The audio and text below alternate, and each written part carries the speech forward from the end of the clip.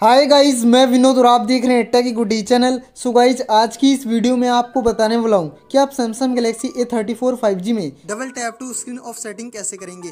Double tap to screen off setting करने के लिए आपको इस वीडियो को एंड तक देखना है। वीडियो को स्टार्ट करने से पहले, अगर आप हमारे चैनल पर नए हैं तो चैनल को कर देगा सब्सक्राइब और बेलाइकन को प्रेस करके ऑल पे क्लिक कर देगा ताकि आने वाली हर वीडियो का नोटिफिकेशन मिले आपको सबसे पहले। सो गाई चलिए आज की वीडियो को हम स्टार्ट करते हैं। सबसे पहले गाइज़ आपको सेटिंग में ना सो गाई सेटिंग पे क्लिक करते हैं। सेटिंग पे क्लिक करने के बाद यहाँ पे आपको थोड़ा सा नीचे आना है। यहाँ पे आपको एडवांस्ड फीचर्स पे क्लिक करना है। इस पर क्लिक करने के बाद यहाँ पे आपको मोशंस एंड जेस्टर्स पे क्लिक करना है। इस पर क्लिक करने के बाद यहाँ पे आपको थर्ड ऑप्शन मिल जाएगा double tap to turn off screen का। सो गाइज़ ये हमारा double tap to screen off setting अगर आप इस सेटिंग को अनेबल कर देंगे और गाइज़ आप अपनी फ़ोन के होम स्क्रीन पे डबल टैप करेंगे तो गाइज़ आपकी फ़ोन की स्क्रीन ऑफ़ हो जाएगी.